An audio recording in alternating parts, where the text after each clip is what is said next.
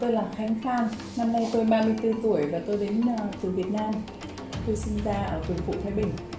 À, cha mẹ nuôi tôi ờ, là nông dân và hiện tại thì tôi đang là kế toán ở một ngân hàng.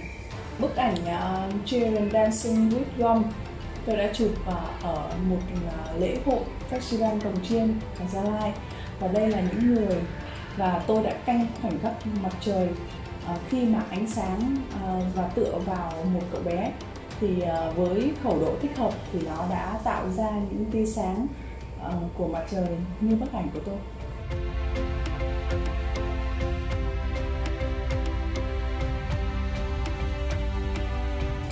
Là một người phụ nữ nhưng mà tôi thường cần vẫn phải là đi chụp ảnh một mình à, và ờ, thực sự là khi mà đi chụp ảnh thì tôi đã phải trải qua rất là nhiều những nguy hiểm.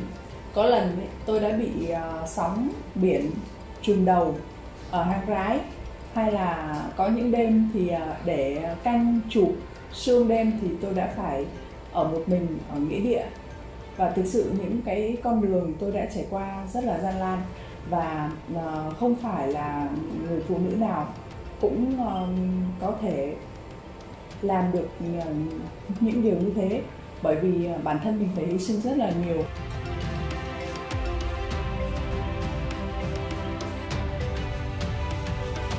Và tôi sẽ sử dụng giải thưởng này trích một phần của nó để ờ, tặng cho đội ờ, cồng chiêng nhí uh, giúp cho các em có kinh phí hoạt động.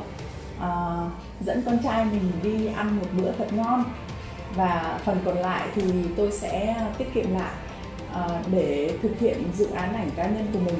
Ờ, cảm ơn Agora đã chắp cánh cho ước mơ của tôi.